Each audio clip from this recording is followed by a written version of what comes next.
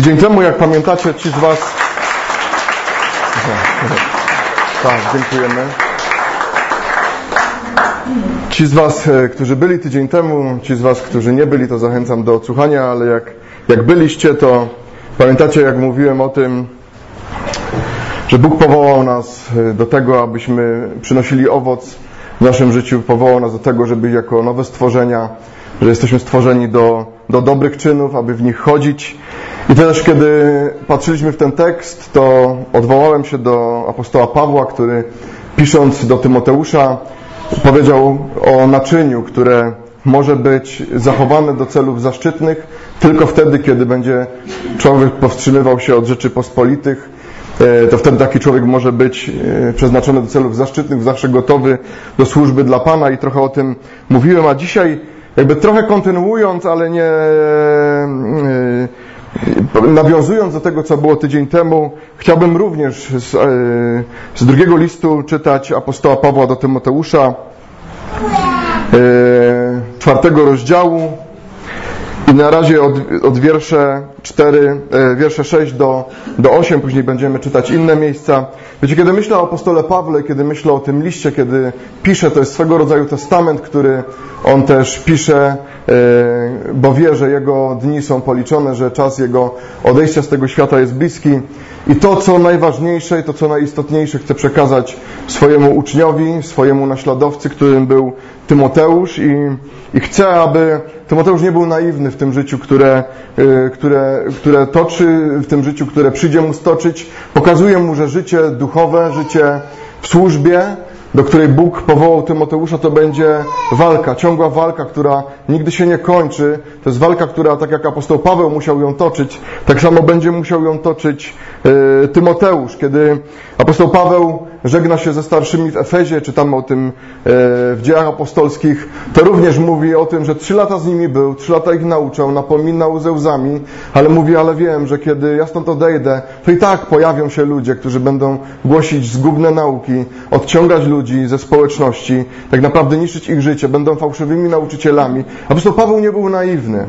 On wiedział, że dopóki rzeczy dzieją się dobrze, to dzieją się dobrze, ale chwila nieuwagi może doprowadzić do tragedii w Kościele. I czytamy, apostoł Paweł mówi, albowiem już niebawem będę złożony w ofierze, czas rozstania mego z życiem nadszedł. Dobry bój bojowałem, biegu dokonałem, wiarę zachowałem, a teraz oczekuje mnie wieniec sprawiedliwości, który mi w owym dniu da Pan, sędzio sprawiedliwy, ale nie tylko mnie, lecz i wszystkim, którzy umiłowali przyjście Jego.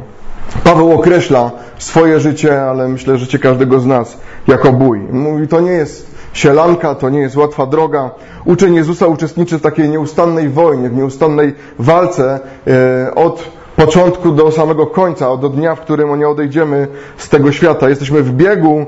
Apostoł Paweł mówi, życie to bieg, to życie nasze duchowe, to bieg, w którym uczestniczymy, uczestniczymy, w którym jest wiele wyzwań, w którym możemy spotkać, y, jest to bieg, w którym y, musimy mieć wiele wyrzeczeń i również na tej drodze, w tym biegu znajduje się wiele pułapek, wiele zniechęcenia, wiele różnego rodzaju ataków.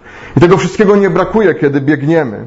Wszyscy, którzy Słowo Boże mówi, przeżyli nowonarodzenie, stali się uczestnikami takiego biegu. Ja kilka tygodni, może miesięcy temu, co nieco już o tym mówiłem, nie chcę się tutaj e, nad tym bardziej rozwodzić, ale to samo dotyczyło Tymoteusza. Paweł mówi, słuchaj, ty uczestniczysz w tym samym biegu, co ja uczestniczyłem. Ja wiarę zachowałem, ja dobiegłem, mogę, mogę powiedzieć, jestem gotowy na to, żeby spotkać się ze swoim Panem, jestem gotowy na to, żeby przyjąć wieniec sprawiedliwości, ale teraz Ty tu zostajesz i całe to dzieło zostaje też tutaj do wykonania, dlatego musisz pamiętać, że życie jest pełne trudów, że to jest bieg, że to są wyzwania, które, które się nie kończą, które ciągle się będą pojawiać nowe. Pamiętaj, że jest wiele pułapek, na które będziesz musiał w odpowiedni sposób reagować. Kiedy przychodzimy do Boga, to wiecie, to takie są pierwsze chwile, kiedy wszystko wydaje nam się cudowne, proste, decyzje wydają się coraz łatwiejsze do, do podjęcia, wiara staje się taka świeża i, i czujemy się, że możemy góry przenosić i mówimy tak, że o, moglibyśmy góry przenosić, ale kiedy już trochę w tym biegu jesteśmy, kiedy pokonujemy jakiś dystans, pojawiają się pierwsze problemy, pojawiają się pierwsze zniechęcenia, pojawiają się pierwsze e, utraty sił. Szybko odczuwamy różnego rodzaju ataki ze strony świata, ze strony strony szatana, bo to są realne zagrożenia, ze strony naszego ciała. Przychodzą różnego rodzaju doświadczenia wiary, które czasami są dosyć e, e, lekkie, może nie powiem, czy doświadczenie może być łatwe, ale wiadomo, są też takie, jakbyśmy to nazwali, naprawdę ciężkie doświadczenia naszej wiary i naszego życia, które nie jest łatwo przejść. Aby odpowiedzieć na pytanie, jak dobiec do końca, jak móc u kresu swojego dnia powiedzieć to, co powiedział apostoł Paweł, wiarę zachowałem. Myślę, że trzeba też wrócić do trochę wcześniejszych słów z trzeciego rozdziału, gdzie apostoł pokazuje zagrożenia, pokazuje zagrożenia, jakie będą realne w świecie, zagrożenia, jakie będą realne też w stosunku do Kościoła. I apostoł Paweł mówi tak, a to wiedz, że w dniach ostatecznych nastaną trudne czasy. Ludzie bowiem będą samolubni, chciwi, bełpliwi, pyszni, bluźnierczy, rodzicom nieposłuszni, niewdzięczni, bezbożni, bez serca nieprzejednani, przewrotni, niepowściągliwi, okrutni, miłujący tego, co dobre, zdradzieccy, zuchwali, nadęci, miłujący więcej rozkosze niż Boga, którzy przybierają pozór pobożności, podczas gdy ich życie ich jest zaprzeczeniem jej mocy. Również tych się wystrzegaj, albowiem z nich wywodzą się ci, którzy wdzierają się do domów, usidlają kobiety opanowane przez różne porządliwości, które zawsze się uczą, a nigdy do poznania prawdy dojść nie mogą, podobnie jak Janes i Jambres przeciwstawili się Mojżeszowi, tak samo ci przeciwstawiają się prawdzie, ludzie spatrzonego umysłu, nie wytrzymujący próby wiary, ale daleko nie zajdą, albowiem ich głupota uwidoczni się wobec wszystkich, jak to się z tamtymi stało. Wiecie, wiele było e, momentów w historii świata, w historii ludzkości, w których moglibyśmy powiedzieć, że to były trudne czasy. Wiele, wiele. To, to yy, yy, ciężko odnieść yy, tylko do teraz. Okresy różnego rodzaju wojen, chorób, które dziesiątkowały populację, gdzie wielu ludzi ginęło. Jednak Paweł nieco bardziej szczegółowo określa te czasy, e, e, które dotyczą czasu ostatecznego. I wiemy dobrze, że od momentu śmierci zmartwychwstania Pana Jezusa Chrystusa mamy czasy ostatnie. Dwa tysiące lat to jest ten czas. Ale Pan Jezus mówi, że też z tym czasem wiele rzeczy będzie narastało, będzie się nasilało, tak że będzie jeszcze bardziej widoczne, uwypuklone i On daje pewną charakterystykę. Czy ludzie byli samolubni w przeszłości zawsze? To jest natura człowieka. Czy byli egoistami? Jasne. Czy wiele z tych rzeczy, które są w tej liście, miały miejsce w przeszłości przez 2000 lat? Oczywiście. Ludzie będą samolubni, mówi apostoł Paweł, kochający samych siebie. Nie bliźniego, lecz siebie lecz siebie samego. Modne słowo to takie, wiecie, które młodzież używa w selfie. Widzimy różnych ludzi, którzy ciągle tylko siebie fotografują, ciągle tylko o sobie i tylko oni chcą być widoczni. Tylko jakby życie ich zależało od tego, jak bardzo ludzie polubią ich w świecie wirtu wirtualnym. I myślę, że, że to jest jeden z takich objawów tego świata, o którym mówi apostoł Paweł, tych czasów, o których mówi apostoł Paweł, że ludzie będą samolubni. Liczę się ja. Nie liczą się inni. Liczą się moje pragnienia, liczą się moje dążenia, nie liczą się inni. Liczy się to, co mnie sprawia przyjemność, nie to, co sprawia przyjemność albo jest dobre dla innych ludzi. Jak, jak, jak już tylko to słyszycie, to widzicie, że to jest bardzo sprzeczne z Ewangelią. Gdzie nie liczymy się ja, gdzie nie liczę się ja, ale moje ja to jest bycie sługą dla innych. Totalnie coś innego. Samolubność jest taką bramą do całej reszty wymienionych tutaj cech przez apostoła, e, bo jest grzechem przede wszystkim przeciwko pierwszemu przykazaniu. Będziesz miłował Pana Boga swego z całego serca, swego z całej myśli, z całej duszy, e, a, a bliźniego swego jak siebie samego. Egoizm był zawsze cechą człowieka ale musimy przyznać, że ostatni wiek XX i wiek XXI jest mamy do czynienia z niesamowitym rozwojem egocentryzmu. Różnego rodzaju prądy filozoficzne, humanistyczne ideologie są paliwem dla współczesnego samolubstwa. Ciągle słyszysz o swojej ważności, o swojej wyjątkowości, o tym, kim Ty nie jesteś. E, e, kiedyś e, jedna z sióstr mi opowiadała, jak w przedszkolu są szkoleni, że tak naprawdę nie, nie można uczyć dziecka dzielenia się z drugim człowiekiem, bo to on ma sam decydować. Wiecie, już te wszystkie prądy filozoficzne, te ideologie uderzają, uderzają u podstaw w to, o czym mówi Boże Słowo. U podstaw uderzają w miłość, w, te, w miłość do bliźniego i uczą egocentryzmu. Ja, moje, mnie, dla mnie. Coraz więcej ludzi w tych wierzących jest, w tym wierzących jest przekonanych, że bycie samolubnym od czasu do czasu to nic złego. Chcę Wam powiedzieć, to jest błąd, poważny błąd myśleniowy. Nie mamy prawa do bycia samolubnym, bo samolubność to cecha czasów ostatecznych. To cecha czasów trudnych. Biblia wskazuje na samolubstwo jako znak czasu. Słowo powiada, że Chrystus ogołocił samego siebie, przyjął postać sługi i stał się człowiekiem. Ogołocił. On nie był samolubny, on nie myślał o sobie, nie myślał o, o swojej chwale, o swojej wygodzie, ale zostawił nam przykład, przychodząc tutaj na ziemię w postaci człowieka. Kolejną rzecz, o której mówi apostoł Paweł, to, to chciwość. Ona może mieć różne oblicza, najczęściej będzie dotyczyła pieniędzy, nieustannego dążenia do ich posiadania, co za tym idzie, też bardzo często jest mocno związana z skąpstwem człowieka. I też trudno powiedzieć, że w przeszłości to tak bardzo prężnie działało. To bardziej te rozwój cywilizacji od XIX do XXI wieku, kiedy te rzeczy zaczęły się mocno rozwijać, widzimy też coraz większy pęd do bogactwa, coraz większy pęd do pieniędzy, coraz większy pęd do tego, żeby mieć, że tak naprawdę ludzie identyfikują się nie poprzez to, kim są, ale poprzez to, co posiadają. Więc widzimy w XXI wieku, wieku, jak wszystko kręci się od początku, od, od maleńkości wokół tego, co będziesz robił w przyszłości, jak będziesz zarabiał i żeby cię na wszystko w życiu było stać i żeby ci nigdy pieniędzy nie brakowało i wiele, wiele, wiele, wiele innych rzeczy, które za tym idą. Ale prawda jest taka, że coraz większy problem jest z chciwością, z wykorzystywaniem ludzi, z wykorzystywaniem pracowników przez pracodawców. Coraz więcej jest, mamy do czynienia z chciwością ludzi, którzy są wysoko postawieni, którzy żarują na ludziach naiwnych. Coraz więcej mamy do czynienia z chciwością w kościele, poprzez ludzi, którzy mają się zasługi Boże, ale poprzez manipulacje wyciągają pieniądze od ludzi. Tak naprawdę nie dla dzieła Bożego, ale dla swojego samolubstwa. Coraz więcej mamy z tym problemów. Coś, co może miało jakieś epizody w przeszłości, ale tak naprawdę tego apogeum mamy teraz w XXI, XX-XXI wieku. To chciwość Pan Jezus, to chciwości Pan Jezus kazał się strzec, bo powiedział, że nie od obfitości tego, co posiadasz, zależy Twoje życie. Nie od tego, dlatego mówi, wystrzegajcie się chciwości. To zapisane jest w Ewangelii Łukasza. Chciwość tych rzeczy, które do nas nie należą.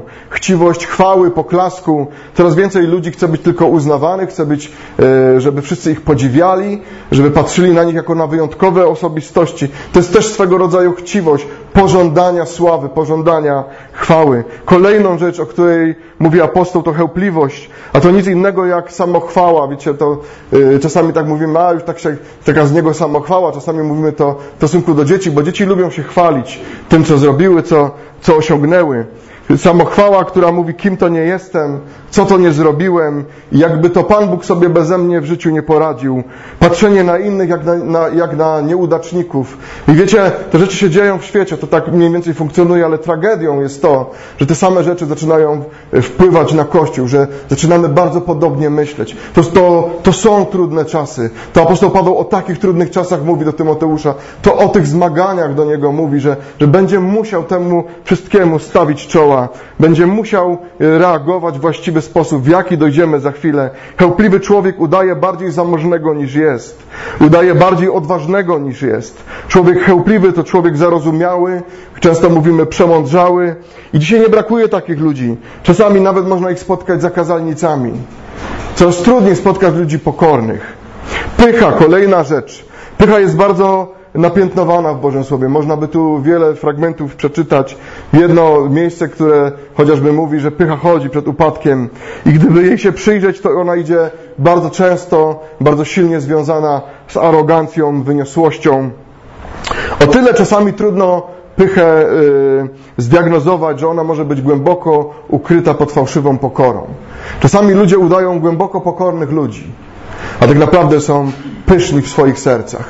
Tak naprawdę udają bardzo pobożnych ludzi, ale tak naprawdę szczycą się tym, z tą swoją pobożnością gdzieś w sercu, patrzą na innych z taką pogardą, z arogancją, kim to ja nie jestem, jak ci ludzie w ogóle myślą, jak oni patrzą, jak on może tego w Słowie Bożym nie rozumieć, jak on może takich prawd nie odkrywać. Przecież to jest tak proste, ja, ja, ja nie wiem, jak do tego może dojść, ja jestem taki fajny. To jest pycha, słuchajcie, to jest pycha.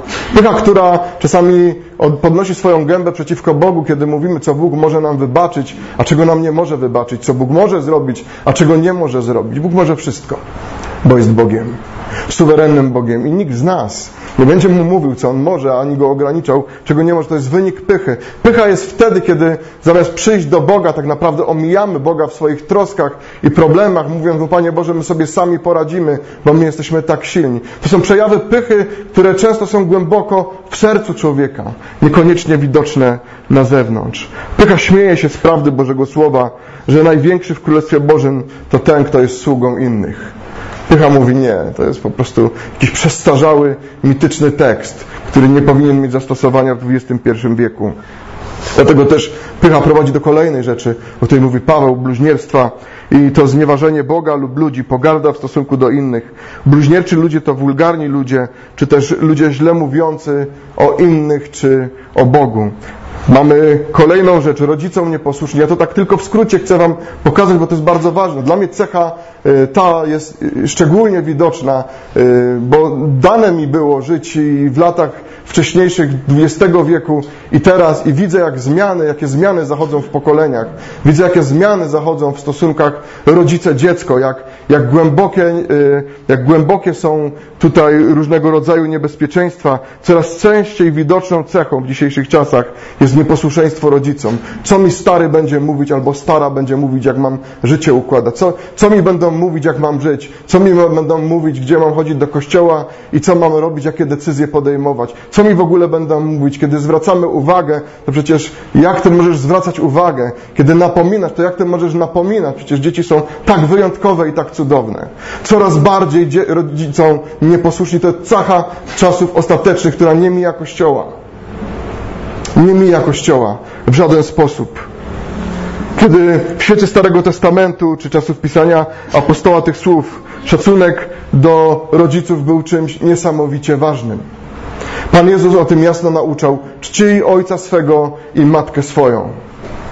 To było proste, czego nauczał Pan Jezus. To było coś, co się ciągnęło przez cały Stary Testament i w Nowym Testamencie Pan Jezus mocno podkreślił czcij, szanuj swojego ojca i swoją matkę. Kiedy faryzeusze kombinowali z przepisami prawa, to co usłyszeli z ust Pana Jezusa powiedzieli, omijacie prawo, ponieważ nie czcicie tak naprawdę swoich, nie chcecie czcić swoich ojców i swoich matek, nie okazujecie im szacunku. Dzisiaj słuchajcie, jeśli macie dzieci, ja mam, to wiecie jak jest, że nie jest łatwo. Jak ja sobie przypominam, że pewne teksty, gdybym, jak to się mówi, zapodał swoim rodzicom, to by się kiepsko dla mnie skończyło. A dzisiaj młodzi ludzie nawet nie widzą w tym nic złego coraz bardziej będą rodzicom nieposłuszni. To jest cecha czasów ostatecznych. Ale to się bierze, wie, wiecie skąd? Z samolubstwa, z egocentryzmu, z chełpliwości, z pychy, z wszystkich tych rzeczy, które idą za sobą. One są z sobą mocno powiązane. Bunt prawa przeciwko rodzinie w wielu krajach robi się wszystko, żeby rodzina nie była silną jednostką, żeby rodzic był nikim, a dziecko było małym Bogiem. Dzieci nie są bogami nie mogą sterować całym naszym życiem. I powiem Wam, nawet nie są najważniejsze. Nie są najważniejsze. Chociaż wiem, że pewnie dla wielu matek nie widzicie świata poza ale one nie są najważniejsze. Najważniejsze jest to, żebyśmy je wychowali w duchu Bożym. Najważniejsze jest to, żebyśmy stanąć, kiedy staniemy przed Bożym tronem, mogli powiedzieć, że dobrze swoje szafarstwo wobec wychowania dzieci sprawowaliśmy. One nie są najważniejsze. Najważniejszy jest Bóg. Kiedy dzieci zamieniają na stanowisko Boga, to wiele rzeczy się sypie. I, i małżeństwo się sypie, i, i rodzina się sypie, a do tego, tak jak powiedziałem, wiele praw jest stworzonych po to, żeby ten rodzic nie miał nic do gadania. Wiele praw jest tak robionych w wielu krajach. Bunt przeciwko prawu i wiele krajów już zaczyna yy, Wiele krajów już zaczyna płacić tego cenę, już zaczyna ponosić tego konsekwencje. Bezstresowe wychowanie, brak dyscypliny. I wiecie, kiedy mówię dyscyplina czy bezstresowe, to nie chodzi mi o to, że jak, jak wielu ludzi od razu tutaj rzuca hasło bicie dzieci. Ja nie biję swoich dzieci. Ale czy dostały klapsa? Tak, nie raz. Nie raz. Czy mnie za to mogą wsadzić? Trudno. Dyscyplina może obejmować różne formy, bo ona jest zależna od wieku, to jest oczywiste ale czy ją w ogóle stosujemy, czy w ogóle ją zakładamy? Czy po prostu dzieci są tymi e, cudownymi, małymi bogami, które są, które są nietykalne? Czy naprawdę bezstresowość e, w wychowaniu to jest najlepsza opcja dla życia Kościoła, dla życia naszych rodzin i naszych domów? To jeszcze prowadzi do jeszcze większej skali nieposłuszeństwa, dlatego że nasze dzieci myślą, że my jesteśmy ich kumplami z ławki, którym można napluć w twarz, którym można głupio powiedzieć, bez jakichkolwiek konsekwencji. Nie, rodzice są rodzicami. Matka jest matką i ojciec jest ojcem, ojcem, a dzieci powinni okazywać im cześć. Bez względu na to, co współczesna tutaj psychologia mądrze mówi. Dzieciaki, które każdą formę kontroli czy troski odbierają jako atak na ich osobowość i e, prywatność. Słuchajcie, jak kocham, to chcę chronić i nie interesuje mnie prywatność. Nie interesuje mnie prywatność.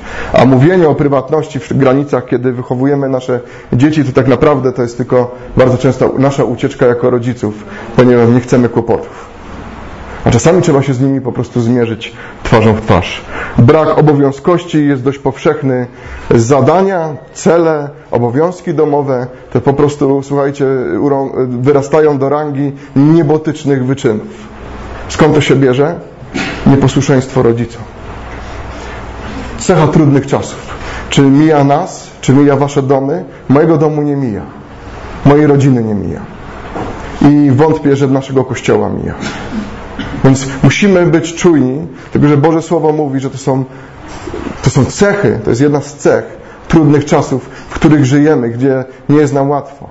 Wiem, jak wielu z Was rodziców płacze o swoich dzieci, jak wielu widzi, gdzie idą nie w tą stronę, jak podejmują złe decyzje. To jest cecha trudnych czasów, tym bardziej musimy modlić się o nasze domy i o nasze e, e, rodziny. Nie dziwcie się, że te rzeczy się tak dzieją, dlatego że to jest ta cecha, która musi się, która musi mieć miejsce. Mało tego niewdzięczność, kolejna rzecz. Znacie to. Inaczej ludzie, którzy nie potrafią dziękować, nie potrafiący doceniać tego, co mają, co ktoś dla nich zrobi. Zrobisz coś, zawsze jest i tak nie, nie tak, zawsze yy, coś by mogło być lepiej. Niewdzięczność w stosunku do Boga, do Jego łaski, do tego, co Bóg dla nas uczynił, kiedy ciągle mówimy, Panie Boże, bo ja myślałem, Panie Boże, bo ja bym chciał, Panie Boże, bo ja myślałem, że to będzie lepiej, albo to będzie bardziej po mojemu. Niewdzięczność co do tego, co Chrystus zrobił dla nas, yy, którą powinniśmy okazywać Bogu, niewdzięczność za okazaną łaskę, niewdzięczność czasami za wysłuchane modlitwy, ciągła postawa roszczeniowa bo mnie się należy. Boże, bo przecież to ja jestem takim cudownym Twoim dzieckiem, wyjątkowym. Mnie się należy. Niewdzięczność jest cechą również w stosunku do Boga, jak i w stosunku znów do nas ludzi. Bardzo trudno znaleźć dzisiaj wdzięcznych ludzi. Czasami trudno usłyszeć zwykłe dziękuję. To jest kolejna cecha. To jest kolejna cecha trudnych czasów.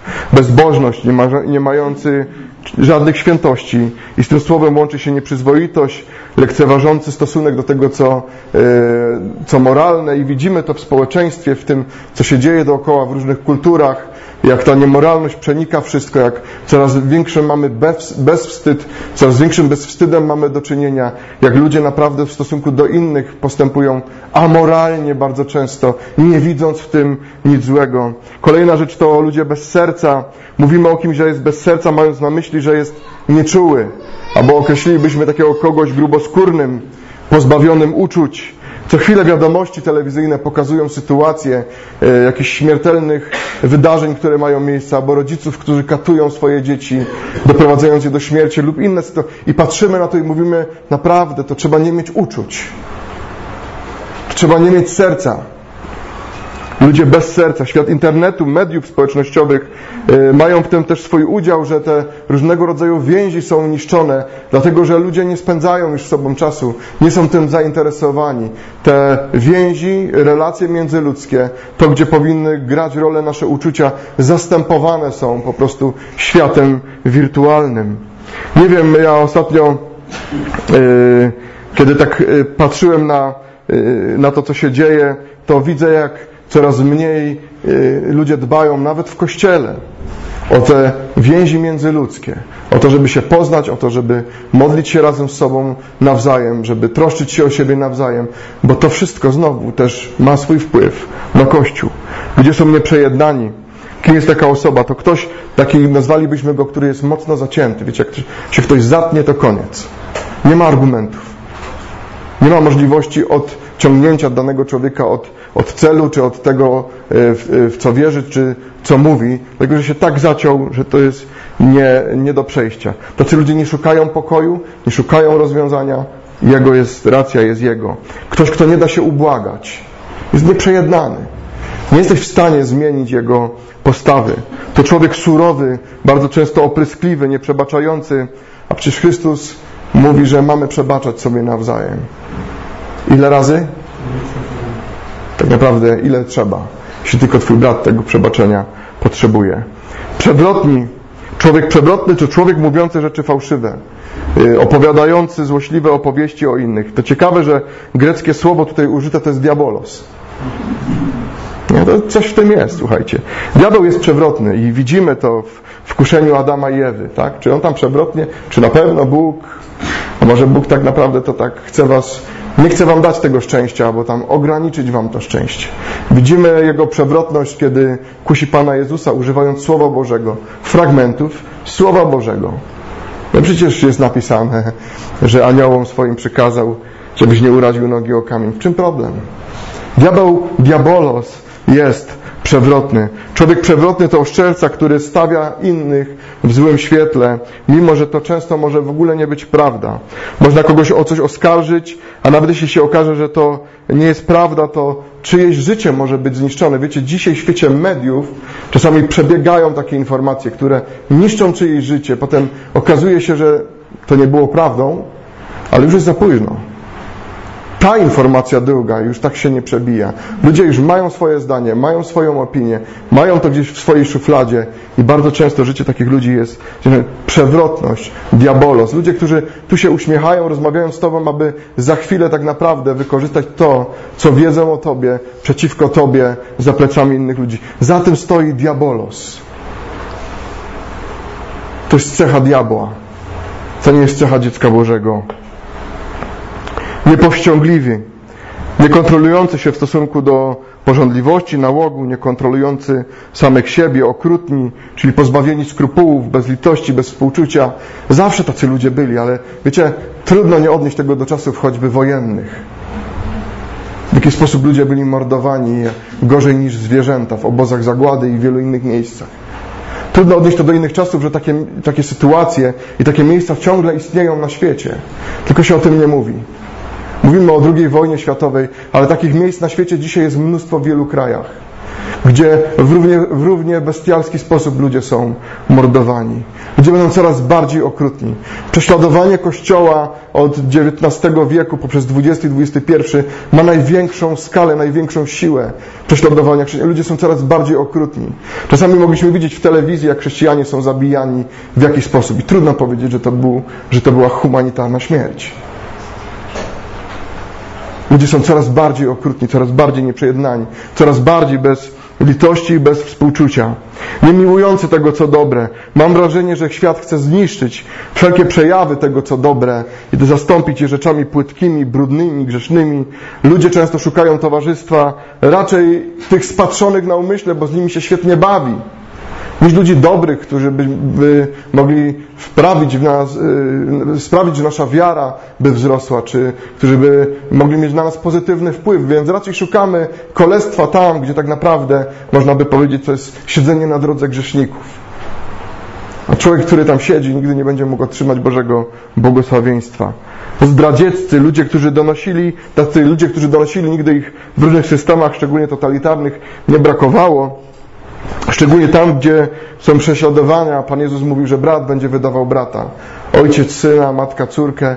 To rzeczy będą się działy, one się działy przez całą historię i yy, od, od 2000 lat i do dzisiaj ciągle to ma miejsce. Ludzie są zdradzieccy.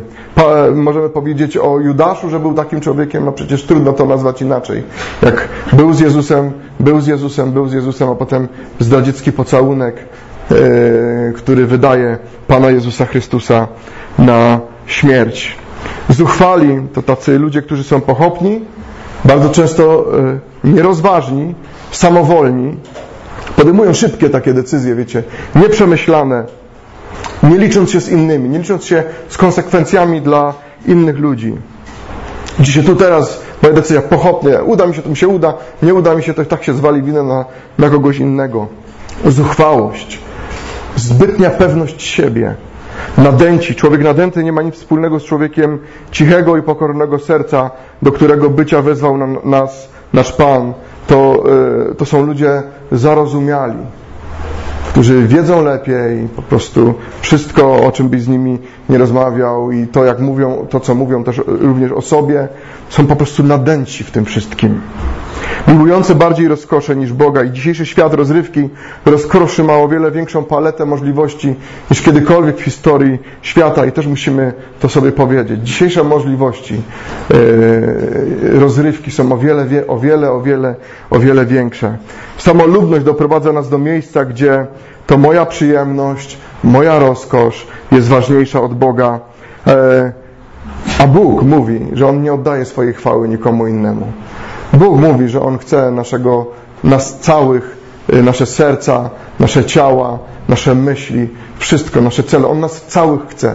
On nie dzieli się z nami, On nie chce dzielić y, swojego ducha z nami i z tym światem. On dał nam Ducha Świętego, ponieważ jesteśmy świątynią Ducha Świętego.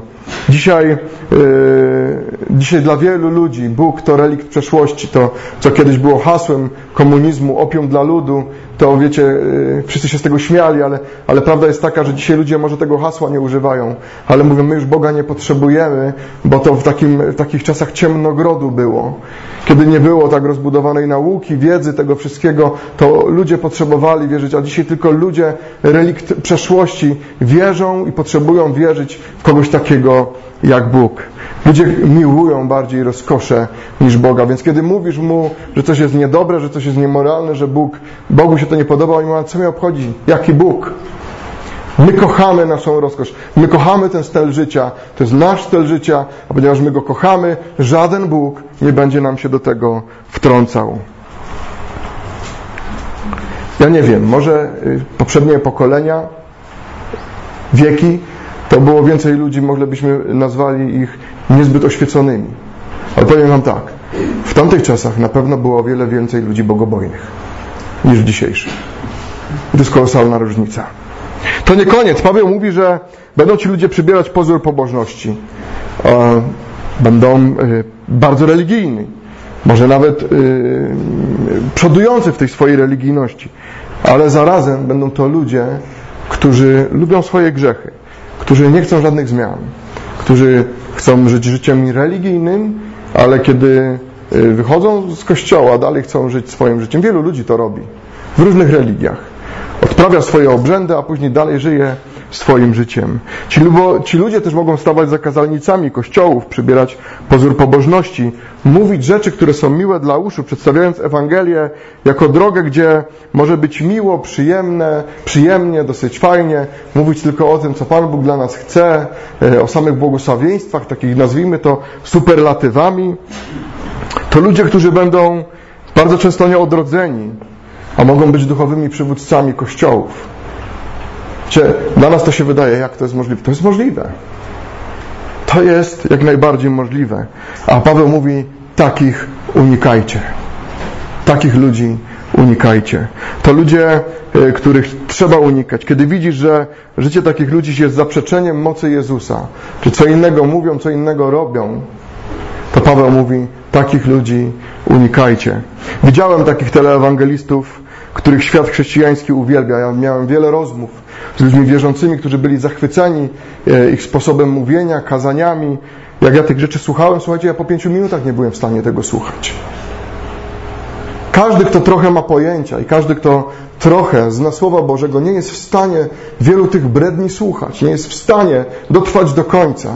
A świat chrześcijański jest nimi zachwycony, wydzieranymi ludźmi, ludźmi, którzy są wydzierani z góry na dół, którzy opowiadają bzdetne baśnie, jakieś legendy, sny i wizje, które chrześcijanie łapią po prostu i mówią, wow, Bóg do nas mówi. Ale przyglądasz się życiu tych ludzi i oni zastanawiasz się, czy w ogóle są odrodzeni. Patrzysz na owoce ich życia i zastanawiasz się, nie ich służby, nie to ile ludzi chodzi do ich kościołów i jak wielka jest ich służba, ale to jak żyją i okazuje się, że masz wątpliwości, czy w ogóle są odrodzeni. Paweł mówi, takich się wystrzegaj. Takich unikaj.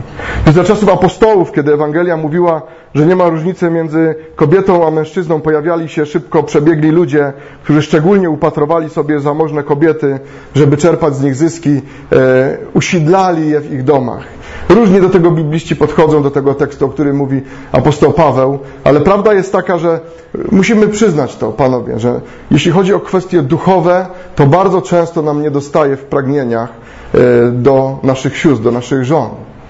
Że to kobiety bardziej lgną do rzeczy duchowych. Dużo szybciej niż my, mężczyźni. I to jest bardzo często nasz problem. Kiedy w tamtym świecie kobieta tak naprawdę, wiecie, nie miała wiele do gadania, ni, ni, niestety nie miała wiele do gadania, yy, nagle Ewangelia przemienia ten cały system myśleniowy, to pojawili się od razu ludzie, którzy to chcieli wykorzystać i mówiąc, wiecie, wy jesteście teraz tu szczególne, tak naprawdę to wy możecie o wiele więcej. I oczywiście, że to wszystko szło w te strony, które nie są Bożymi stronami. Bardzo często bibliści podają i można odczytać to też w niektórych pismach ojców Kościoła, że to był niezły zysk, takie usidlanie takich szczególnie zamożnych, zamożnych kobiet. E, to kobiety wpadały w te sidła i powiem tak, to dla mnie jak e, Ewa w ogrodzie Eden i to jest jeden z powodów, zrozumcie mnie dobrze, ja uważam, że Biblia, Stary i Nowy Testament, jeśli można tak powiedzieć, to wiele chwały Mam, nadzieję, że dobrze to rozumiecie. Wiele chwały oddaję Wam, siostrom. Wiele. Gdybyśmy tak naprawdę przeanalizowali różne fragmenty dotyczące kobiet y, w Starym i Nowym Testamencie, to Bóg naprawdę docenia kobiety i, i, y, i wiele chwały im oddaje. Ale, ale stawia też jasne granice. Jedną z nich dla mnie jest nauczanie kobiet, jedną z nich jest dla mnie przywództwo kobiet. Ponieważ skłonności kobiet są jakie są. Ja jestem przekonany, że dlatego Bóg nie powołał ani do nauczania y, kobiet, ani do przywództwa kobiet. Jestem o tym przekonany. To nie jest nic złego. Po prostu tak zostaliśmy stworzeni. A naszą rolą, panowie, jest nosić spodnie i być mężczyznami w naszych domach w naszych kościołach.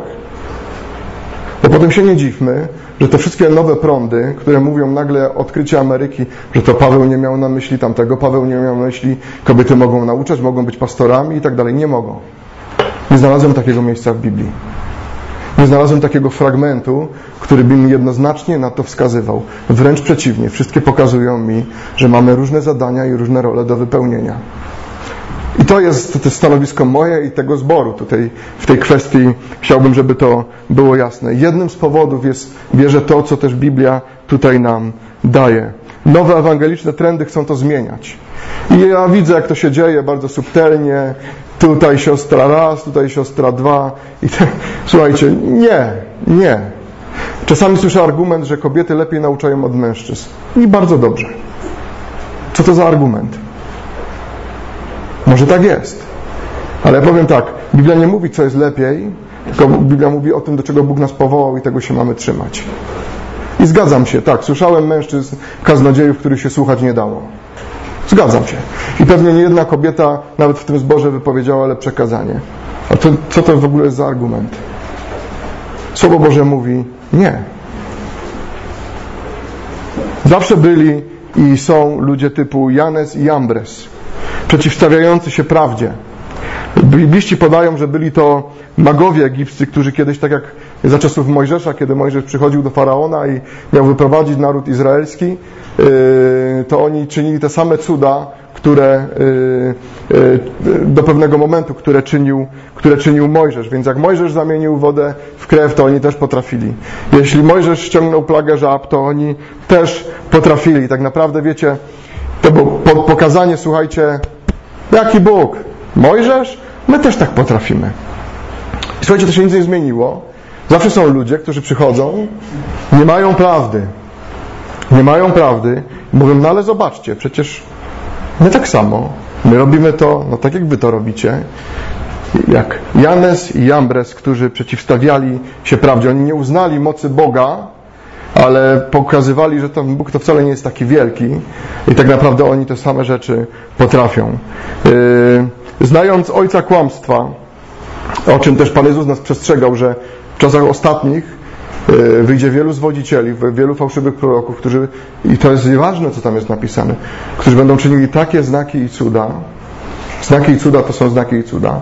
To, co zawsze nas w zachwyt wprawia, że o ile to jest możliwe, żeby zwieść wybranych. Jeśli myślicie, że e, to tylko sobie Pan Jezus tak powiedział, to się głęboko mylicie. On powiedział to, bo wiedział, jakie to będą czasy. Jak trudno będzie odróżnić prawdę od fałszu. Jak rzeczy staną się do siebie podobne. Jak czasami będziesz czuł po kościach, że coś jest nie tak, ale nie od razu będziesz potrafił tak naprawdę zidentyfikować, co jest tutaj kłamstwem. To nie, jest, to nie jest łatwe, słuchajcie. Jak dzisiaj słucham różnego rodzaju poglądów, które są w świecie, a ponieważ świat znowu mediów, internetu pozwala nam na dużo szersze możliwości słuszenia różnych rzeczy, to ja jestem w szoku, że w ogóle ktoś tak może myśleć. Ale nawet kiedy słuchasz tych rzeczy, one bardzo często brzmią bardzo logicznie. E, użyte są fragmenty biblijne. Wygląda to po prostu to tak, jakby to było wszystko to samo, a nie jest.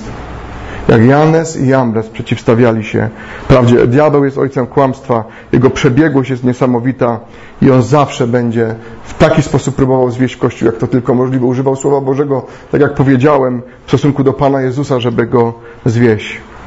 I Paweł mówi o tych ludziach, że są ludzie, którzy nie wytrzymali wiary, więc próby wiary, czyli wymogów wiary, wymogów życia w Bożym standardzie. Wiecie, co zrobili? Stworzyli sobie własne wymogi. Bo nie chciało im się żyć świętym życiem, więc to my będziemy to samo robić, ale naszym życiem. Nie przeszli próby wiary, więc wymyślili sobie swój własny system, swój własny system myśleniowy, swój własny system ideologiczny, tak żeby im łaska i wszystkie te rzeczy odpowiednio grało i tak powstało wiele różnego rodzaju ruchów i wiele różnego rodzaju religii. To ludzie nie wytrzymujący próby wiary, więc dostosowują tą wiarę do siebie, swoją, dostosowują teologię do tego, co sami mogą zrozumieć, a nie do tego, co Boże Słowo mówi, czy do tego, w co powinni wierzyć. I tak naprawdę e, stwarzają taki swój świat i taką iluzję prawdziwości. W tym samym liście apostoł Paweł pisze jeszcze o Figelosie, Hermonogesie, którzy wstydzili się prawdy. Pisze o Hymeneuszu i Filestosie, którzy, e, którzy błądzili od, pobłądzili od prawdy. Pisze o Demasie, kilka wierszy dalej, w czwartym rozdziale, który, którego pochłonął ten świat, pociągnął ten świat i odszedł od służby, mimo że był tak blisko z apostołem Pawłem, służył z nim, jeździł z nim na misję. Kto by pomyślał? Wiecie, bo czasy są trudne, nasze życie jest w niebezpieczeństwie. Bo czasy są trudne, Kościół jest w niebezpieczeństwie. Nasze osobiste życie, jak i życie jako wspólnoty jest w niebezpieczeństwie. Dlatego apostoł Paweł, kiedy mówi do Tymoteusza, że chce, żebyś dobiegł i żebyś mógł powiedzieć, wiarę zachowałem, to dlatego o tym mówi, popatrz na te zagrożenia i pamiętaj, że one są. Pamiętaj, jak masz żyć, ponieważ one bardzo łatwo, a ojciec kłamstwa bardzo szybko je wprowadzi w Twój krwioobieg. Dlatego Paweł mówi, Dalej, lecz Ty poszedłeś za moją nauką, za moim sposobem życia, za moimi dążnościami, za moją wiarą, wyrozumiałością, miłością, cierpliwością, za moimi prześladowaniami, cierpieniami, które mnie spotkały w Antiochii, w Ikonium, w Listrze. Jakież to prześladowanie zniosłem, a z wszystkich wyrwał mnie Pan. Tak jest. Wszyscy, którzy chcą żyć pobożnie w Chrystusie Jezusie, prześladowanie znosić będą. Ludzie zaś źli, oszuści coraz bardziej brnąć będą w zło błądząc sami i drugich w błąd wprowadzając, ale Ty trwaj w tym, czegoś się nauczył, czegoś pewny, wiedząc, od kogoś się tego nauczył. I ponieważ od dzieciństwa znasz Pisma Święte, które mogą obdarzyć Cię mądrością ku zbawieniu przez wiarę w Jezusa Chrystusa, całe Pismo przez Boga jest natchnione, pożyteczne do nauki, do wykrywania błędów, do poprawy, do wychowywania w sprawiedliwości, aby człowiek Boży był doskonały, do wszelkiego dobrego dzieła przygotowany. Paweł mówi Tymoteuszu, ty poszedłeś za moją nauką, czyli za tą Ewangelią, którą Ci głosiliśmy, e, za tymi prawdami, które uczy Słowo Boże, które uczył Jezus Chrystus. Poszedłeś za moim sposobem życia, sposobem życia, który był pełen poświęcenia, oddania Bogu, oddania innym, wierności Słowu Pana, za obietnicami, poszedłeś za moją wyrozumiałością, kiedy wielu krytyków i wrogów usiłowało mnie zdyskredytować, uwięzić czy pozbawić życia. Poszedłeś za moją wyrozumiałością wobec tych, którzy będąc Kościołem próbowali mnie zniszczyć. Czytacie o tym w listach, choćby drugi list do Koryntian pięknie to opisują. Opisuje do moją cierpliwością do tych, którzy byli często niedojrzali, którzy w swojej wierze już powinni być daleko dalej, ale, ale nie byli. Poszedłeś za prześladowaniami, za cierpieniami, z których wyrwał mnie Pan. I wiecie, to jest niesamowite. Paweł mu mówi, słuchaj, te rzeczy Cię nie miną w Twojej służbie, bo ci, którzy chcą żyć pobożnie, prześladowanie znosić będą. Ale powiem Ci dobrą wiadomość, Tymoteuszu. Paweł mówi, Pan Cię z nich wyrwie. Pan Cię nie uchroni od nich, ale z nich Cię wyrwie. Tak jak Bóg był z Danielem i jego przyjaciółmi w ich różnych sytuacjach, czy w lwiej jamie, czy, czy w piecu ognistym, Bóg ich nie wyrwał z pieca ognistego, ale był tam z nimi wyciągnięty, nie ustrzegł ich od pieca, ale wyrwał ich z pieca. Słuchajcie, Bóg nas, czasami będziemy w trudnych miejscach, czasami miejscach prześladowania, Bóg nas nie ostrzy, od, nie, yy, nie, nie, dojdziemy do pewnego rodzaju prób, które będą trudne w naszym życiu, ale Bóg w nich będzie z nami i nas z nich wyprowadzi. Tak jak psalmista mówi w psalmie 23, że laska Twoja i kij Twój mnie prowadzą. Bóg będzie nas prowadził. Tego Paweł mówi do Tymoteusza, nie bój się, Bóg mnie wyrwał. Były sytuacje, czytamy o tym w dalszych rozdziałach tego listu, kiedy Paweł mówi, że byłem sam, wszyscy mnie opuścili. Ale mówi, Pan był ze mną. Pan mnie wyrwał. To jest coś, co słuchajcie, nikt wam nie zabierze, słuchajcie. Mogą dzisiaj nam Kościół zamknąć, powiedzieć, że to jest nielegalne.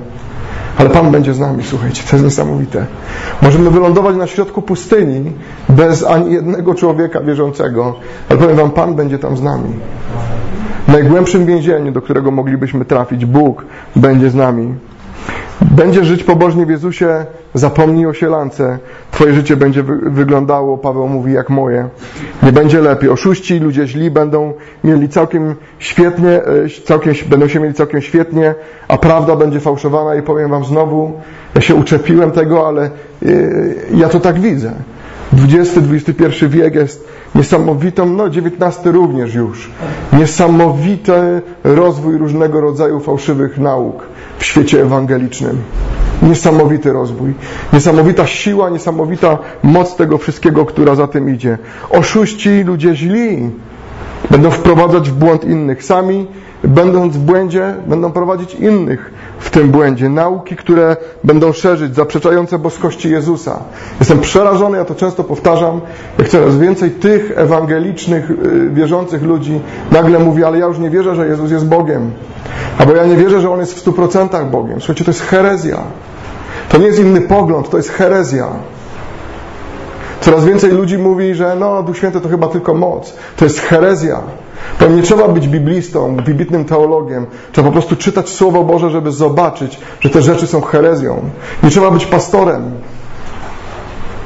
Po prostu czytając Biblię, one się same rzucają w oczy, że to jest niemożliwe. Coraz więcej ludzi mówi, a słowa Trójca nie ma w Biblii. Nie ma. Ale cała Biblia mówi o trójjedynym Bogu. Mogę to pokazać od Genezis do objawienia.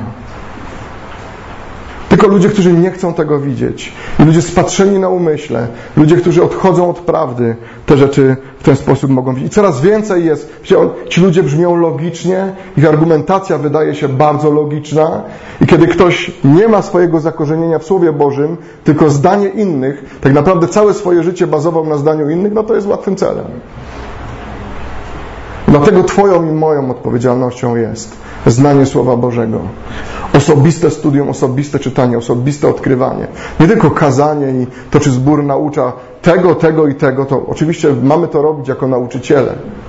Ale osobiste Twoje studiowanie Pisma Świętego i tak będzie o wiele więcej, czymś większym i lepszym niż to, kiedy ja Ci powiem, że masz tak wierzyć. Ja Ci mogę to powiedzieć, ale to będzie moje zdanie, które ktoś szybko może podważyć. Ale kiedy Ty odkryjesz, kiedy Ty widzisz te prawdy w Bożym Słowie, to jest coś niesamowitego. Coraz więcej pojawia się ruchów, nauk, które mówią, że musimy obchodzić już święta starotestamentowe, inne rzeczy pseudonaukowe, pseudobiblijne, nauki mówiące o nieważności chrztu i wiele innych, że tak naprawdę to wszystko, wszystko wszyscy mogą. Tak naprawdę to, to precz wszelkiej religijności, bo każda jakaś postawa, która mówi o uporządkowaniu, to jest religijność. Słuchajcie, nie dziwcie się temu, bo Słowo Boże od nas ostrzega, że te rzeczy będą się działy. I od nas jako Kościoła zależy, czy my na to pozwolimy w tym miejscu. Bo inni coś robią, czy będziemy trzymać się tego, co Słowo Boże mówi. Dlatego Paweł mówi dzisiaj o nas, trwajcie tym, powiedziałby do nas dzisiaj, trwajcie w tym, czego się nauczyliście. Biorąc przykład od tych, którzy nauczali Bożej prawdy, powołania, ludzi z powołania, apostołów Jezusa Chrystusa, całego Bożego Słowa. Dlatego musimy znać Pismo Święte, jak, e, tak jak znał je również Tymoteusz. Słuchajcie, to jest, Paweł mówi, od dzieciństwa znasz te Pisma, ty to wszystko wiesz. To wszystko było w tobie kształtowane. Czy to mu pomogło? E, oczywiście, że tak, ale czy uchroniło go od pewnych lęków i obaw? Nie. Dlatego Paweł musi do niego pisać, na nowo rozniecaj dar łaski. Facet, Bóg ci to wszystko powierzył, nie poddawaj się. Nie jeden z was to pewnie przechodził w swoim życiu. Rezygnacja, poddanie się, patrzysz w Boże Słowo, patrzysz na to, co się dzieje dookoła i sobie myślisz, a może to ja zwariowałem. A może ze mną jest coś nie tak. Ale powiem Ci, dopóki trzymasz się Bożego Słowa, nie zwariowałeś. Powiem Ci, świat wariuje. Świat wariuje. Świat wariuje i dlatego może czasami tego nie, to nam się tak wydaje. Jeśli chcemy zachować tę wiarę, dobiec do końca, dobiec w tym biegu, to kluczową sprawą jest prawda.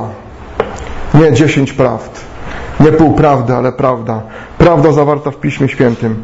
Dzisiaj wiele fałszywych religii używa Biblii, twierdząc, że to oni głoszą prawdę, używają fragmentów i mówią, nie ma piekła, mówią, nie ma wiecznego potępienia, używają fragmentów i mówią albo o tym, że człowiek jest zbawiony jednak z uczynków, a ta łaska to jest dodatek. Używają wielu, wielu fragmentów różnych, różnych Pisma Świętego dla poparcia swoich tak zwanych racji. Diabeł, powtarzam to i będę powtarzał, używał Słowa Bożego, żeby zwieść Chrystusa. Czy myślicie, czym będzie zwalczał Kościół? Co będzie używał Koranu? Albo jakichś innych ksiąg świętych innych religii? Wszyscy byśmy to odrzucili z miejsca. Ale kiedy używa Słowa Bożego, kiedy używa Biblii w wypatrzony sposób, a to już tak bardziej to łagodnie wszystko przyjmujemy. Jak ludzie, yy, jako ludzie wierzący, musimy rozumieć tą prawdę, która jest określona w Bożym Słowie i się jej trzymać. Biblia Słowo, Paweł mówi, że Biblia i tutaj mówi y, ważność tego, dlaczego to jest ważne, żebyśmy Słowo Boże czytali. Biblia jest pożyteczna do nauki. Kiedy Paweł o tym mówi, mówi o Starym Testamencie, nie mają jeszcze nowego, ale sobie myślę, o ileż bardziej teraz moglibyśmy jeszcze mogli mówić o Nowym Testamencie. Jest potrzebna nam do nauki. Do nauki na temat grzechu, do nauki na temat człowieka, do, na, do nauki na temat Boga, Kościoła, czym Kościół jest, zbawienia, uświęcenia, usprawiedliwienia i słuchajcie, można by tu jeszcze wymieniać, skąd o tym wszystkim możesz się nauczyć. Z pism. Z pism wynika nasza pociecha, z pism wynika nasza nadzieja. Kościół musi nauczać słów Chrystusa, naukę apostolską zawartą w Bożym Słowie. Jeśli uczy innych rzeczy, to jest tylko strata czasu. To jest tylko i wyłącznie strata czasu. Biblia wykrywa nasze błędy, błędy w myśleniu, błędy w założeniach, błędy w postępowaniu. Nawet kiedy niewierzący czyta Biblię i Duch Święty go dotknie, nagle widzi swoje życie i widzi, że jest w błędnym kole i widzi, że jest grzesznikiem i widzi swoje błędy, widzi całe swoje życie i woła do Boga o zbawienie. Ile razy Bóg w ostatnim czasie, kiedy czytałeś Jego Słowo, czytałaś Jego Słowo, wskazywał Ci na Twoje błędy. Mnie pokazuje często. Ale wiecie, Bóg jest niesamowity, bo On nie tylko pokazuje, że coś jest nie tak, ale jest napisane, że prowadzi nas do poprawy. On też w tym słowie daje mi rozwiązania, w jaki sposób mogę coś zmienić, w jaki sposób mogę wyjść z mojego błędnego myślenia, z mojego błędnego postępowania, z moich błędnych decyzji.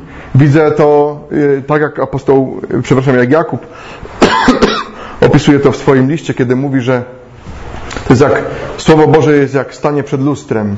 Przyglądasz się swojemu obliczu yy, i kiedy, i masz dwie opcje. Możesz odejść i zapomnieć, co widziałeś, lub zobaczyć to, co widzisz i dokonać wszelkich potrzebnych korekt, wszelkich potrzebnych zmian. Są zawsze dwa, yy, dwie decyzje, które możemy podjąć. Widzieć, że coś jest nie tak, nic z tym nie zrobić, lub widzieć, zobaczyć i podjąć wszelkie starania, żeby to słowo zastosować i dążyć do tej poprawy, o której mówi Boże Słowo. Pismo wychowuje w sprawiedliwości, czyli prowadzi nas do życia uświęconego, czy pokazuje w jaki sposób mamy żyć sprawiedliwym, świętym, uświęconym życiem. Wychowuje nas, byśmy stawali się dojrzali w naszej wierze. Nie, że po 30 latach stoimy w tym samym miejscu. Fragment, który jedynie znamy, to Jana 3,16 i modlitwa Ojcze nasz. Jakby po prostu to było e, najwyższa wartość e, poznania Pisma Świętego. Szkoda, że nie znamy Jana 3, 17 i 18 i paru innych miejsc. Bóg dał nam swoje słowo, żebyśmy wzrastali. Nie możemy wzrastać bez Bożego Słowa. Nie możemy wzrastać poprzez sporadyczne czytanie Słowa Bożego. Nie możemy wzrastać tylko poprzez słuchanie kazań od czasu do czasu. Nie możemy wzrastać w ten sposób. Bóg dał nam swoje słowo. On nie chce globalnie nas korygować tylko, ale On chce nas indywidualnie, indywidualnie uczyć, indywidualnie prowadzić, indywidualnie sprawiać, żebyśmy wzrastali w naszej wierze. Mało tego, On mówi, stworzeni jesteśmy tutaj, dojrzali, gotowi do dobrego dobrego dzieła. Stworzeni jesteśmy, to co mówiłem, mówiłem tydzień temu, do dobrego dzieła. Teraz mówi, daję Ci moje słowo, by Duch Święty przez, swoje, przez to słowo Cię wychowywał, by byś wzrastał wierze i był gotowy do dobrego dzieła. Znowu widzimy, w jaki sposób możemy. Bóg daje rozwiązanie. Wiecie, dlatego diabeł walczy o ciebie i o mnie, żebyście nie czytali Słowa Bożego. Dlatego na nie y, notorycznie nie masz czasu. Dlatego zawsze, dla, coraz częściej uznajesz to za stratę czasu. Dlatego, że czasami Bóg do Ciebie przemawiał, czasami nie, a to nie ma znaczenia, czy dzisiaj to czujesz Boga, ale Ty masz to robić po prostu. Bo jeśli nie czytasz Słowa Bożego, to jesteś duchowym karłem i będziesz tym duchowym karłem, aż któregoś dnia po prostu i tak to się źle skończy.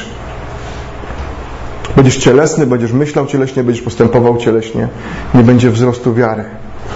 Nie będziesz się zmieniał, nie będziesz się przemieniał, nie będziesz stał się podobny do Jezusa Chrystusa.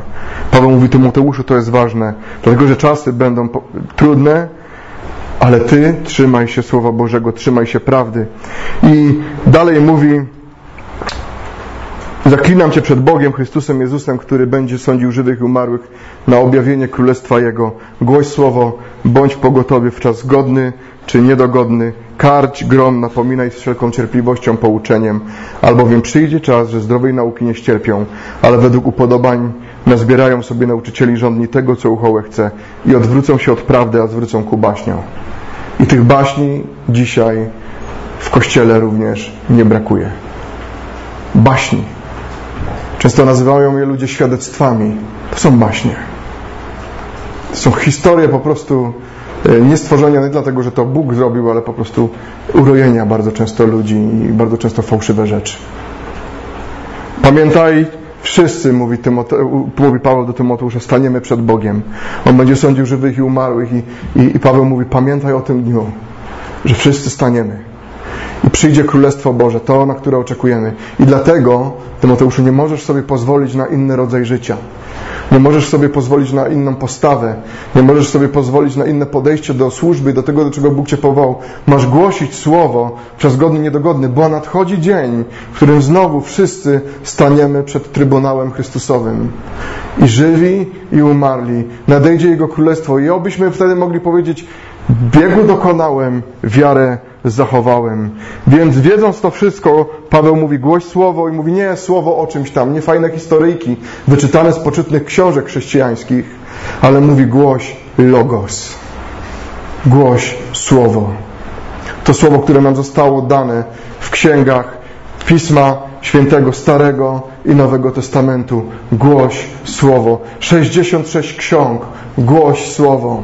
Słowo nie ogranicza się do jednej księgi w Biblii ale do 66 ksiąg Biblii. Paweł mówi głoś słowo, godny czas niedogodny, karć, grom, napominaj z cierpliwością i pouczeniem. Czasami to będzie droga przez mozu, czasami będzie Ci się wydawało, że to jest grochem o ścianę, ale mówi karć, grom, napominaj i bądź cierpliwy. Ale nie mówi mu stosuj programy, szukaj rozwiązań, szukaj ludzkich metod i takich rzeczy. Mówi znajdź jakieś tam kulturowe różnego rodzaju aspekty. Nie. Mówi głoś słowo. Ono jest dosyć, znaczy powiem tak, ono jest ponadkulturowe przede wszystkim. Powiem tak, ja dzisiaj modlę się, żeby wielu moich współbraci kaznodziejów do tego wróciło. Do głoszenia słowa a nie jakichś historii, po prostu opowiadań dziwnej treści. Czasami słucham tych kaznodziejów różnego rodzaju i, i powiem wam, ja nie jestem jakimś, nie, nie mam się, znacie mnie. Nie mam się za kogoś wyjątkowego. Tutaj są o wiele lepsi mówcy na tej sali ode mnie. A ja nie o tym mówię. Ja mówię o tym, że czasami słucham czegoś i wiem, że, to, że mówi to jakiś kaznodzieja, a tego się naprawdę słuchać nie da. Jestem zażenowany tym, co słyszę. Jestem zażenowany interpretacją Słowa Bożego. Jestem zażenowany manipulacją, która się dokonuje na tekście. Jestem zażenowany brakiem zrozumienia tekstu i kwitowaniem, że duch tak poddaje, a ja jestem religijny, bo po prostu czytam tekst. A jeszcze bardziej za, czasami zastanawiam się, jak my w ogóle możemy słuchać takich ludzi. Czy to nie jest strata czasu, którą może lepiej wykorzystać na studium osobiste Pisma Świętego? Nie jestem wybitnym kaznodzieją. Wiele mi brakuje i pewnie yy, można by wielu rzeczy się doczepić. Ale wiecie, jedno mam pragnienie, żeby po prostu głosić słowo. Nic więcej. Ja od nikogo tutaj, kto stanie na tym miejscu, stoi, czasami nie oczekuje niczego więcej. Nie musisz mieć niesamowite historie, ja nie mam, nie potrafię. Zawsze zazdrościłem ludziom, którzy potrafili piękne wstępy robić, ja nie umiem. Słuchajcie, nie da rady. Nie wyłapuje tego z gazet, z filmów, tam nie umie. Ktoś umie fajnie, jeśli będzie dalej mi głosił Słowo Boże, ale to, czego macie oczekiwać od każdego kaznodziei, gdziekolwiek będziecie, czy ktokolwiek będzie głosił, że on będzie głosił Słowo Boże. A nie historię o tym, jak on jest cudowny, jak Bóg go użył i bez niego Bóg by sobie nie dał rady w wielu miejscach świata. Nie o tym, kim on nie jest. Słowo Boże, kazalnica jest od tego, żeby głoszone było Słowo Boże. Wygodne, przyjemne nauczanie bez zastosowania, nauczanie pozbawione głębi, pozbawione prawdy. Coraz więcej ludzi szukało, szuka takich miejsc, gdzie się pośmieją, wyluzują, będzie dobra muzyka, taka pod nich, gdzie będą czuć się dosyć komfortowo, e, zrelaksują się, gdy wyjdą z kościoła dalej będą kochać swój grzech i nie będą mieli do niego obrzydzenia, a tak naprawdę nawet nie muszą pamiętać już po południu, o czym było to kazanie. Oprócz tego, że pastor użył fajnego kawału, a słyszałeś ten kawał i będą go sobie przekazywać. Wiecie, ja nie mówię, ja nie, ja, wiecie, ja nie jestem ponury człowiek, ja lubię się śmiać. Ja lubię zażartować. Tylko wydaje mi się, że to pewne granice wszystko zaczęło już przekraczać. Pewne granice smaku i tego, czym jest kaznodziejstwo i czym jest głoszenie Słowa Bożego. Apostoł Paweł mówi do Tymoteusza, facet, skup się na tym, żeby głosić Słowo. Skup się na tym. Tego się trzymaj. To jest najlepsza szczepionka, najlepsza antydotum na Twój egoizm, na Twoją samolubność, na Twoją chełpliwość, na Twoją chciwość, na te wszystkie rzeczy, z którymi być może się zmagamy, a które niebotycznie dobrze mają się w dzisiejszym świecie. Coraz więcej ludzie chcą słuchać tak, żeby nie czuć jakiegokolwiek dyskomfortu, by prawda człowieka nie uwierała, żeby nie usłyszał, że coś jest grzechem, że to się tak nazywa. Więc nazywamy to tak, żeby dany człowiek nie uciekł z kościoła, bo on już więcej na nabożeństwo nie przyjdzie. Nie, nie, nie rozumie takich stwierdzeń. Nie rozumie. Jeśli człowiek nie, nie chce zrozumieć swojego grzechu, to, no to, to nawet bycie na tym miejscu jest po prostu stratą czasu. Jak człowiek nie przychodzi tutaj niewierzący i nie widzi swojej grzeszności, i, i kto mu ma i powiedzieć, gdzie on mu o tym, że jest grzesznikiem? Chyba Kościół jest tym miejscem, tak mi się wydaje. Można by powiedzieć jednym z tych najlepszych miejsc, żeby o tym usłyszeć. Ale ludzie tego nie chcą. Wolimy historię, wspaniałe książki, opisy, różne opowiadania, w których zakotwiczamy jakieś prawdy swojej wiary, zamiast Słowo Boże. I mówimy, bo to tam pięknie było opisane i chyba to tak jest. Nieprawda. Gdzie coraz więcej się mówi o przebudzeniu i ja już nie mogę tego słuchać. O przebudzeniu, który oczywiście, że ogarnie Polskę, bo my jesteśmy w historii od Mickiewicza, słuchajcie, e, Chrystusem narodów. My wszystkich wybawiamy i tylko przebudzenie do nas ma przyjść. Ja wam powiem wam, co przyjdzie. Ja to mówię ze smutkiem. Powiem wam, co przyjdzie. Przyjdzie jeden sąd za nasze bałwochwalstwo i odstępstwo jako naród. Ja nie, nie, nie oczekuję przebudzenia. Ja oczekuję sądu. A póki Bóg go nie dokonuje, to chcę, aby jak najwięcej ludzi jeszcze mogło się upamiętać, żeby pod ten sąd nie być poddani. W tak bałwochwalczym kraju i odstępczym, jakim my żyjemy, my oczekujemy, że po prostu bez wyznania grzechów, bez upamiętania, jakieś ponadnaturalne rzeczy się będą działy i wszyscy po prostu, bo w historii tak było. Fajnie, minęło sto ileś lat i się to nie powtórzyło. I dlaczego ma się powtórzyć u nas? Tylko dlatego, że jacyś ludzie o tym w ten sposób mówią? Dlatego Słowo Boże mówi Karć go, napominaj, bądź w tym wszystkim cierpliwy. Czy chcemy jak Demas ukochać świat? Myślicie, że Demas tak pomyślał sobie, a znudziło mi się z Pawłem? To się gdzieś zaczęło. Gdzieś jego serce zaczęło odchodzić od Boga. Ja nie chcę skończyć jak Demas. Mam nadzieję, że nikt z nas. Nie chcę jak Jambres i Janes przeciwstawiać się prawdzie, ale chcę trzymać się tego, co Bóg mi dał. Nie chcę być częścią składową charakterystyki trudnych czasów, że to mój egoizm, moja chciwość do tego się przykłada, ale chcę trzymać się tego, co mówi Boże Słowo, a ona mówi, że mam głosić Słowo, mam trzymać się Słowa, bo ono jest pożyteczne do nauki, do wykrywania błędów, do poprawy, do wychowywania w sprawiedliwości, abyś był dojrzały. I na końcu chcę powiedzieć, Panie, dobiegłem. Nie było łatwo, ale byłeś ze mną, wyrywałeś mnie, ratowałeś mnie i dziękuję Ci za wszystkie te dni, w których miałem dość, ale Ty mi dawałeś swoje słowo i ono mnie podnosiło i szedłem dalej. Jeśli tego pragniemy, to Słowo Boże w naszej społeczności i osobistym życiu musi zająć należne miejsce. To nie jest dodatek. Kazanie nie jest dodatkiem do wszystkiego innego. Kazania i kazalnica to powinno być miejsce centralne każdej społeczności. A to, czego powinniśmy oczekiwać, to głoszonego Słowa. Centralny punkt Twojego dnia to powinien być Twój czas z Bogiem, Twoje studium biblijne, Twoje czytanie Słowa Bożego i pytanie, Panie, z czym dzisiaj chcesz mnie korygować? W czym potrzebuję poprawy? Gdzie potrzebuję nauki? Gdzie potrzebuję zrozumieć? Gdzie potrzebuję bardziej się uchwycić? Gdzie potrzebuję bardziej się zakotwiczyć? Zobaczyć, jak na nowo rozkochasz się w Bogu, w Jego mocy, w Duchu Świętym. Zobaczyć, jak Bóg będzie Cię pouczał. Jak zmieni się Twój stosunek do Twoich braci i sióstr. Jak głębokie na nowo więzi powstaną pomiędzy nami, ale też i pomiędzy nami a Bogiem. Jak, jak na nowo zaczniemy widzieć Boga takim, jakim jest. Bo czasami codzienność tak nas przytłacza, że nie widzimy Boga w sposób właściwy. Powiem nie ma innej drogi. Musimy wrócić do Słowa Bożego. Ja dzisiaj na koniec chciałbym Wam zadać pytanie, jakie podejmiesz kroki w najbliższym tygodniu, by na nowo rozmiłować się w Słowie Bożym? Jakie podejmiesz kroki? Żeby móc powiedzieć jak Dawid, ukochałem Twój zakon, w Twoim zakonie pokładam nadzieję, Twój zakon, rozmiłowałem się w Twoim zakonie, jest głęboko w moim sercu, Twoje Słowo jest pochodnią moim nogą. Oczywiście, wiecie, łatwo jest powiedzieć, no dobra, coś z tym zrobię. Ale pamiętaj, że kiedy składasz Bogu śluby, to to zrób. I dopóki nie podejmiesz kroków, właściwych decyzji i kroków do tego, żeby coś zmienić, nic się nie zmieni. Jeśli dzisiaj nie wyłączysz komputera, aby czytać Słowo Boże, albo telewizora, albo nie zrezygnujesz z tego, co Ci daje przyjemność, bo wiecie, to jest cecha czasów ostatnich, że przyjemności są ponad Boga. Często te przyjemności są ponad Boga w naszym osobistym czasie z Bogiem. Chciałbym Was dzisiaj do tego zachęcić, żebyśmy na nowo wrócili do Słowa Bożego w naszej codzienności. Przed nami rok szkolny, kolejne wyzwania, cały ta kołomyja, szkoła, dzieci, te, te wszystkie rzeczy. Będzie trudno, ale powiem Wam, ja chcę i, i chcę, abyśmy wszyscy tam dobiegli. A Bóg mówi,